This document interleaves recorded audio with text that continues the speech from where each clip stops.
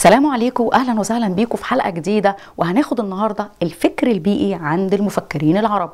الفكر البيئي عند المفكرين العرب وعندي اتنين من أشهر الفلاسفة وأشهر المفكرين عند العرب وخاصة المصريين. كان عندي الفيلسوف الأول علي بن رضوان كان طبيب عربي مصري. علي بن رضوان طبيب عربي مصري.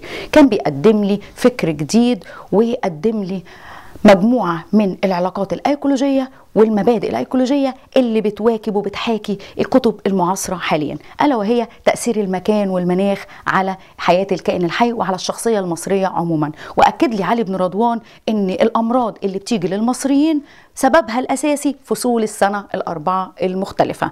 والأيكولوجية بتاعته ديت والكلام بتاع علي بن رضوان هو نفسه اللي بنحكيه دلوقتي وبنتكلم عليه. وأكد لي على تأثير المناخ وتأثير المكان على الشخصية المصرية.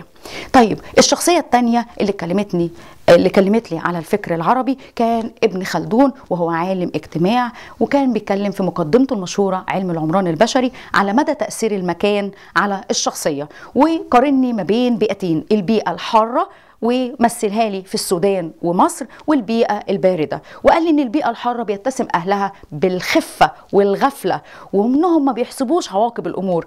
أما البيئة الباردة فدايما عندهم جدة وعندهم عمل جاد عندهم خوف من الغفلة خوف من بكرة وبيعملوا حساب مش قوت يومهم قوت سنين كتير.